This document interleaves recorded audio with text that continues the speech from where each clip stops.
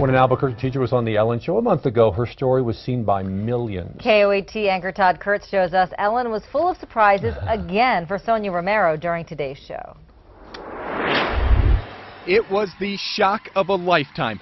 Sonya Romero, kindergarten teacher at Lew Wallace Elementary, surprised on The Ellen Show. Target wants to give you $10,000. Oh my God.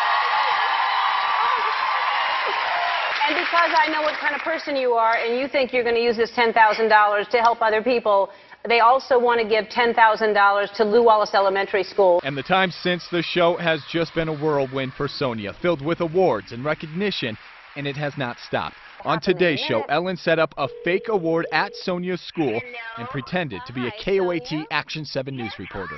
Hi, Sonya. This is Christine Johnson. I'm a reporter with 7 News. It was all a hoax. All of a sudden, Ellen's correspondent Jeannie shows up, and the surprises just start coming. I was in complete shock. And then when everybody came in, I went, oh my goodness. You may remember Sonya wanted to take her son and two foster children on a summer vacation. They're going to Colorado. I don't think you should use your car because it's eight years old. It has over 200,000 miles on it. You guessed it. Ellen gave her a new Ford Edge. Just last week, my timing belt went out and my power steering. So, I mean, I've had, I drive, I have got kids and we have different activities and I live a little far from the school. So we drive a lot.